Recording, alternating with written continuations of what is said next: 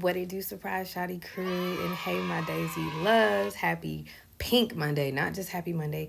Happy Pink Monday. This is your reminder to register for group coaching. I will be having it every Sunday in January, okay, at 3 p.m. Central Standard Time. Register now. Get the Christmas package now while you can. Get the December pricing now while you can because it will increase at the change of the new year, okay? Second thing, if you can understand the words for kingdom marriage and apply them to your kingdom marriage, to you and your spouse, we should be able, you should be able to take those words and apply them across the board in any situation, okay? Especially your family. Kingdom marriage, this kingdom marriage journey has been a blessing because you're learning how to love, right? And that's what we're supposed to do period. Not just love our spouse, not just love people who love us, but love everybody. Okay, so I want to encourage you this Monday morning, this beautiful Monday morning. The sun is shining, it's so nice outside. I want to encourage us to do just that. If you could love your spouse in that manner, love your family in that manner. I think it's easier because it's like um maybe not even easier, but it's like you have a word, you know, like God made this um, man for me. But I also feel like that's why we got to a point to where it was like, why he feel like family all of a sudden?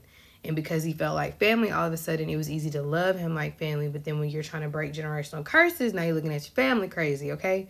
Breaking generational curses is not easy. It's not for the weak. You will indeed be can't come against, opposed, talked about, slandered, mistreated by the people carrying the curse. It makes sense, don't it? Like what else would we expect? But I know that it could also be very heartbreaking. So, one, I want to encourage y'all to go read my Facebook post from this morning. It is my name, Megan MeCheyell. Just go find my latest post. I want to encourage you to go read that if you're dealing with stuff with your family specifically, okay? And I hope we can talk about that in detail on my next live, all right? But for right now, for this morning, what I want to leave y'all with is for some of you, for those who it's for, you know, if it's for you, you might have had a painful week last week with your family, you pushed through. Y'all have acquired new land. You have acquired new land. So remember I told y'all I just recently had a dream and it wasn't just like I was where the general generational curses be and I don't have no control, but now all of a sudden I'm kicking things out. Exactly. Y'all have acquired new land. God has expanded your territory and I really feel like the expansion comes in with the obedience. Like he can give you more because he know he not going to give y'all more and them same curses are going to keep running through. He's giving y'all more so that you can help other people so that y'all can be a safe place for other people. So y'all have acquired new land. And this probably feels like a groundbreaking ceremony. I had to look it up because I kept hearing it. Okay, so I want to read to y'all what happens at a groundbreaking ceremony real, real quick. All right, so a groundbreaking ceremony. This event is a symbolic gesture that brings together project stakeholders, contractors, and the community to celebrate the beginning of something special. So it's bigger than you. It wasn't just about you, it wasn't just about you and your family. Okay, y'all are assigned to territory, and this brings everybody together. The people who are going to build, the people who have invested into this, i.e., God, our Father in heaven, okay? And it brings everybody together to celebrate the beginning of something special. And I pray that after the week we had last week, that y'all feel that. This is the beginning of something special. It is new. If you missed my prayer this morning, that can also be found on Instagram and Facebook, okay?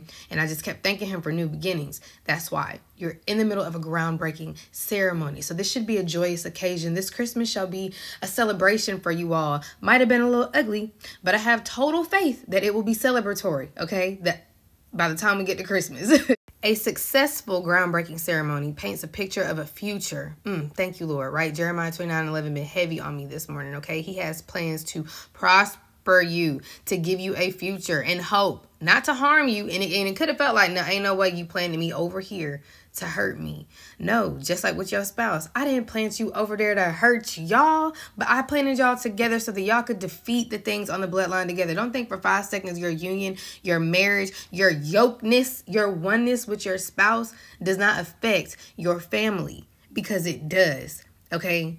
It was to give y'all a hope in a future and not just for y'all's bloodlines but for y'all's community y'all's territory. The enemy is so mad. Like i just heard the holy spirit say that while i was talking. He is so mad. But i need you to know that. So in those moments where it's hard in those moments where god wants a yes and you like the last thing i'm gonna give you is a yes because i'm getting beat up by all of it god. I feel the weight of all of it god. How do you exchange for light burdens? That was the last video right I want this to encourage you to keep giving him your yes. Yes, I'm talking to me because sometimes he be like, I need your yes. And I'm like, you get no. Okay. Because there's no way I'm fighting this hard for people who trying to kill me. That's what it feels like, right? It's warfare. It's the enemy. It's the enemy moving through people you love. The enemy hates you. Okay.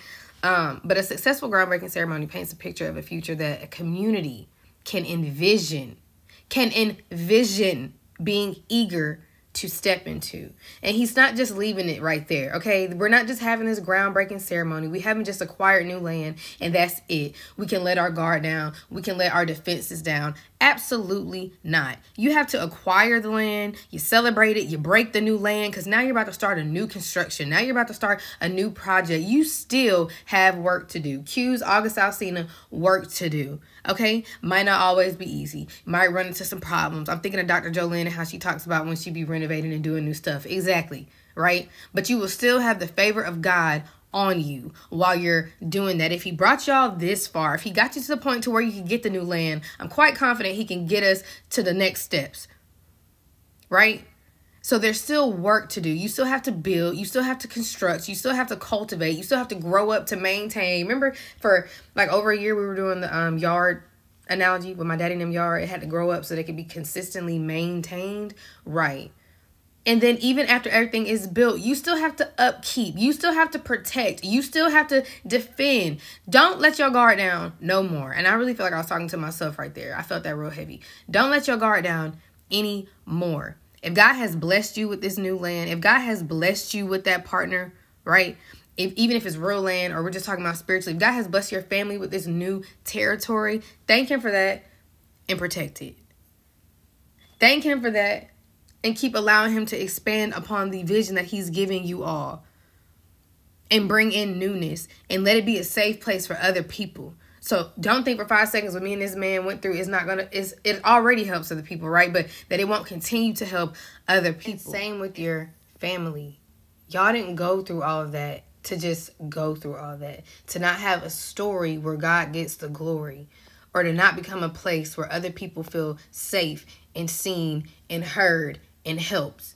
Do you get what I'm saying? If I can see that in my own individual faith walk, if I can see that with my union, if I can see that with my family, it's like that across the board. Now, for those of you who don't know, because we just recently shared it on Instagram, my little sister is engaged to be married.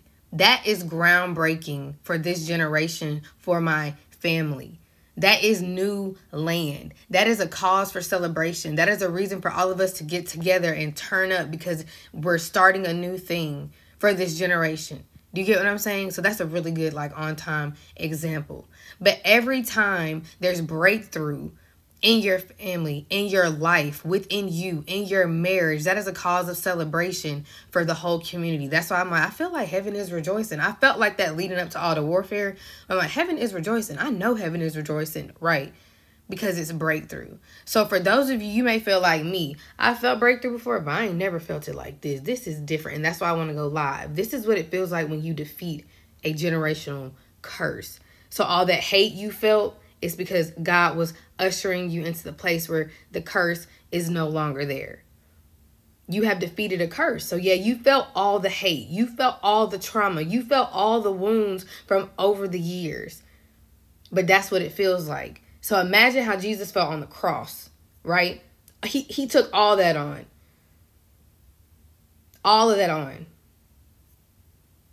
You might have to be that person. You might have to be that person, okay? In your marriage, in certain ways, I'm gonna say that in certain ways, because humility would do that. You might have felt all the way in one area, but your spouse feel he he she might be feeling it in another way than you are. And same with your family.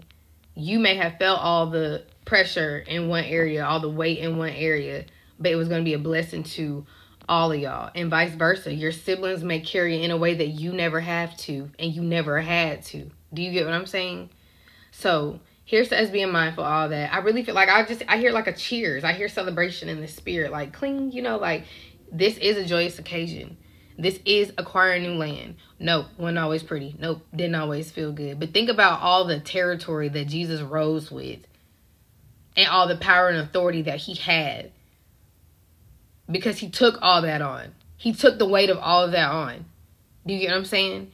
And as long as we exchange with him, we can have those light burdens while we're taking it on. I cried a lot last week. But prior to the crying because it hurt, I was crying because I felt something coming. Then I was crying because something came. Then I was crying because of the warfare. Now I'm crying because ooh, we beat it. Oh my gosh. The devil can never Oh, thank you Holy Spirit. The devil the devil can never take that from us again. It ain't no Jesus got up with all power and oh now the enemy can do no. Cuz once you got up, you got up. That's the end of it, right? The progress you've made is progress that cannot be taken away. When you make progress in the Lord, nobody can take that progress away from you. Nobody can take this breakthrough away from you. Nobody can take this healing away from you. The miracles are coming in. And I'm proud of y'all for pushing through. And if you don't feel like how I feel today, know that a time will come, a day will come where you understand and you feel exactly what I am saying to you right now. It's been a long time coming, but I knew change was going to come. And I hope we can go live and we can talk about some of these things a little bit more. In a little bit more detail. Okay. So I love you all very much. I really do. I am so grateful that I was able to go into the future in the spirit and bring back this Meg. I really like her. And my sister said she likes her too. We can all tell a difference, right? But that don't mean I'm perfect. That don't mean I'm not still struggling, having my days, having my moments. But with him, I can always have a pink Monday get in the room. I know what anxiety feels like, paralyzing, de- debilitating anxiety feels like. I know what that depression feels like. I know what it feels like to not be excited about a new day. But I'm not in that place anymore. And I want to help as many people as I can, as many women as I can, not be in that place anymore. That's what I'm saying. You think I went through all that, all those nights of crying, all those times I was contemplating suicide. You think I went through all of that to not be able to be a safe place for people now, to help them now? That's what I'm doing Pink Mondays for. And it's going to be jam packed with a ton of things. Okay. So pray about it. I hope to see you in the room at the beginning of the year. But every day can be a Pink Mon- Monday. And after a, a moment where it's really, really blue, I know somebody who can help you turn it pink and help you be that in the life of those around you. My nephew told me the sweetest thing last night. I'm, there's two types of people, right? And he was like, but you're the type of person who supports others. Thank you. I feel very seen right now, nephew. right? Thank you, God, for speaking to me through him. But that's what I want to do in the lives of everybody. So whether you just get that support from me on YouTube like this, God bless you. And I'm happy to have been of service. But if you want coaching, group coaching one on one, you know where to come. Okay? So I love y'all. You've acquired new land. It's a groundbreaking ceremony. This is what it feels like to break generational curses. This is what it feels like. Okay? God bless you. The devil man because he can't do nothing about it. The progress you've made in Christ is progress that cannot be taken away. Not from you, not from you and your spouse, not from you and your family, not from y'all and y'all's territory. It's up and it's stuck. See y'all the next few uploads.